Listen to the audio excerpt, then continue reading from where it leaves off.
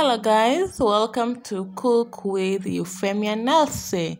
Ready, set, go. Today we're going to make vegetable banana pancake. So we have our carrots, hoho, ngangano, ndizi, banana, and our flour. You open the banana, then you put on a clean container, then you mash it using a fork. I avoided using of blender, but let's go with fork. Make sure you smash it well.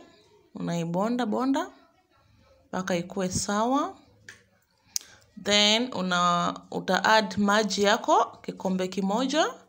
Kama itakuwa ime haijakuwa sawa kwa ngano, utaongeza kidogo. Then naongeza sukari kijiko kidogo. One, two, three. Mimi si fan wa sukari, so I intend to use lesser sugar. Mix well your banana and your carrot and hoho.